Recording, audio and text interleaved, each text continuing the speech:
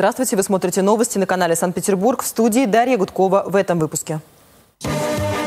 Императорские сады зацвели в Петербурге. Георгий Полтавченко открыл шестой международный фестиваль по ландшафтному дизайну. В северной столице разрушается помещение бывшего штаба Балтийского флота. Бункер Трибуца превратился в свалку. Пресс-станок, 9 полиэтиленовых пакетов и две пластиковые банки с кокаином. Полицейские задержали производителя и сбытчика наркотиков на проспекте Кузнецова.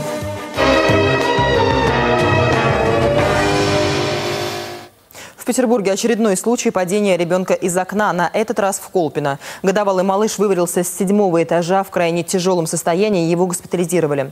Следователи сейчас выясняют обстоятельства произошедшего, но, скорее всего, причиной несчастного случая стала невнимательность старших. Сотрудники социальных служб призывают родителей не оставлять детей без присмотра сожалению, родители вновь и вновь забывают о том, что окна представляют серьезную опасность для их детей. Э, мало того, что не, не предпринимаются какие-то меры для того, чтобы окна закрепить, поставить там э, необходимые задвижки, там закрепить москитные сетки э, и так далее, ну, в принципе, окна держатся открытыми в жару, и ребенок, который даже на короткое время остается без присмотра, в принципе, подвержен постоянному риску. Между тем, в Петербурге это уже далеко не первое подобное происшествие. Только за этот год в городе зафиксировано 11 падений детей из окон. Большинство из них получили тяжелые травмы и остались инвалидами. Последняя трагедия произошла в, Кол... в Кировском районе. В среду пятилетнюю девочку спасти не удалось.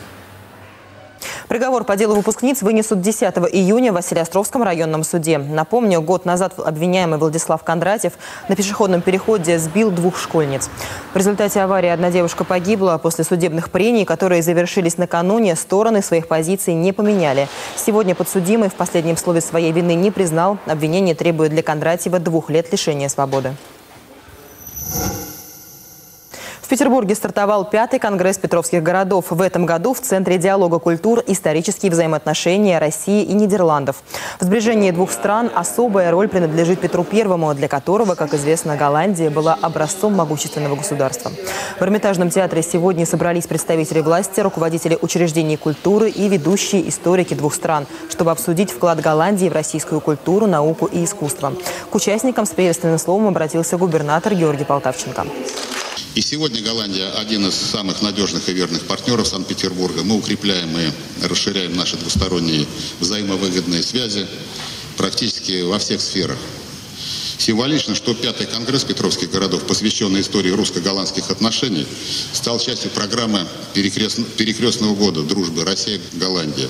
Это продолжение того открытого, широкого и искреннего диалога, который наш город вот уже более трех столетий ведет со, со своими зарубежными друзьями и партнерами, со всеми странами мира.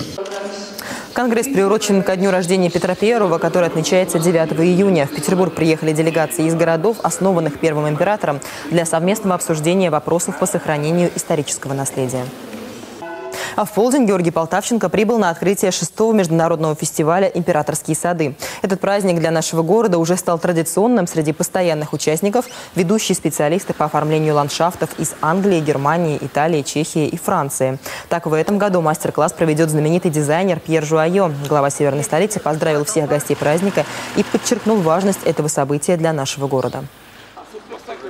Считаю очень важным, что Сегодняшний фестиваль проходит в год окружающей среды, потому что именно растения, цветы, деревья, кустарники лишний раз показывают нам, насколько хрупка природа, насколько хрупка окружающая среда и напоминает нам о том, что необходимо эту красоту, данную нам Богом, обязательно хранить и приумножать.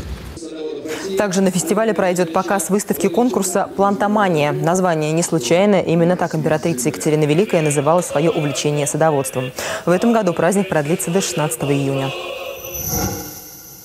Московском районе закрыли десятки торговых павильонов и магазинов. Их владельцы – злостные неплательщики.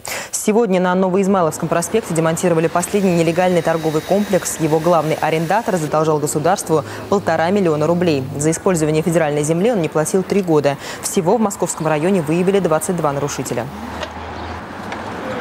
добросовестные предприниматели, которые имеют э, действующие договора аренды на земельные государственные участки, имеют действующие договора по электроэнергии и действующие договора по уборке мусора. Они действительно видят, что незаконные предприниматели уходят с, государев, государевой земли, и власть действительно работает.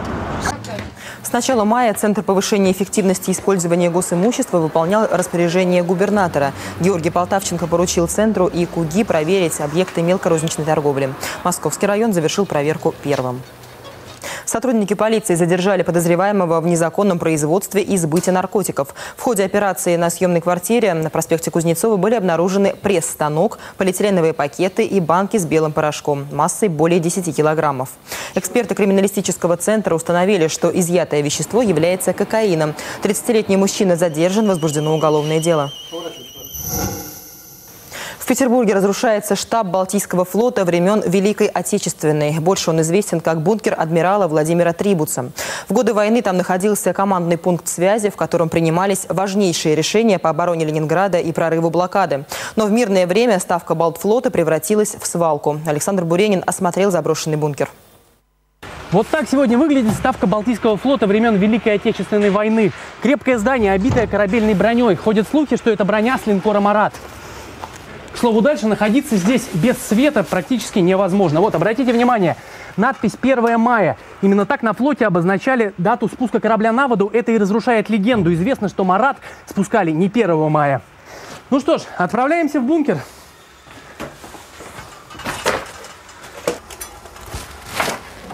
Но сегодня бункер адмирала Трибуса напоминает, по сути, помойку. Хотя эти стены достаточно крепкие. Их не берет ни повышенная влажность, ни неоднократные пожары.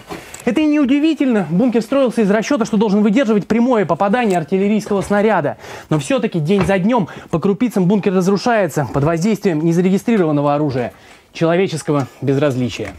Холодно и сыро, как в пещере. Внутри никого, но бункер явно кто-то посещал. Стены расписаны подсказками для участников различных ночных стратегий, а в середине одного из помещений на старинном воздушном фильтре по кругу расставлены свечи. И бесчетное количество старых автомобильных покрышек. Память о соседстве с авторынком. О прежнем убранстве бункера можно судить только по небольшому макету в музее электротехнического университета. Лыти некогда принадлежал и сам бункер, и расположенный рядом ныне обветшавший храм Преображения Господня. Именно там в 30-е годы ВУЗ разместил опытную лабораторию. В войну под церковными сводами базировались моряки. Кому сегодня принадлежит бывший штаб, выяснить непросто. Дело в том, что сейчас к церкви она уже не относится. Этот вход церковный был уже заложен давным-давно. Это помещение после войны юридически было передано красногвардейцу, объединению красногвардеец. И сейчас в настоящее время оно просто находится в запущенном состоянии. На заводе «Красногвардеец» утверждают, что это давно не их собственность. В Комитете по управлению городским имуществом сообщили, что бункер находится в федеральной собственности. В мечтах сотрудников вуза ставка Трибуса предстает отреставрированным музеем-памятником федерального значения. А в реальности на восстановление бункера денег ни у кого нет. Это уже очень важный момент в жизни блокадного Ленинграда. Здесь был бункер. Здесь были все сообщения с Балтийского флота принимались. Это был пункт связи командующего Балтийским флотом. Но, к сожалению, вот Сейчас у нас остался только макет. Александр Буренин, Дмитрий Воронков, Владимир Кульков, Кирилл Дмитриев. Новости Санкт-Петербург. И когда сюжет был готов к эфиру, мы получили ответ из отдела учета и ведения реестра государственного имущества по поводу владельца затерянного бункера. Вот выдержка из документа, цитирую. «Объект и земля находятся в границах участка, предоставленного на праве безвозмездного срочного пользования религиозной организации Санкт-Петербургская епархия Русской Православной Церкви. По результатам обследования в 2009 году было установлено, что техническое состояние строительных конструкций не соответствует требованиям для убежищ ГО.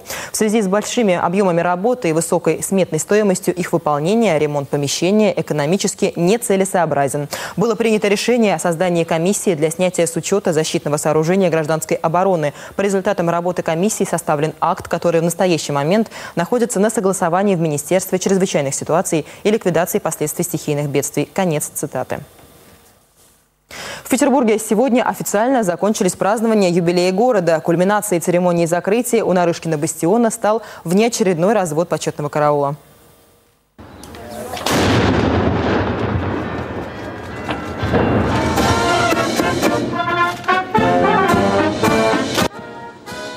После полуденного выстрела военнослужащие прошлись торжественным маршем. В программе вынос знамен, а также групповые и одиночные упражнения с боевым оружием. Все это под аккомпанемент военного оркестра. Ритуал развода караула в Петропавловской крепости возродили в 2011 году, еженедельно по субботам. Но сегодня особый повод – 310-й день рождения Петербурга и 115 лет образованию офицерского собрания армии и флота. По указу императора Николая II оно было основано в 1898 году. Сегодня, по случаю юбилея, церемонию принимал командующий войсками Западного военного округа генерал-полковник Анатолий Сидоров. Радует то, что в последнее время и руководством страны, руководством Министерства обороны, и это подхвачено военнослужащими, гражданами, очень много внимания уделяется возрождению военных исторических традиций. За торжественной церемонией наблюдали сотни зрителей.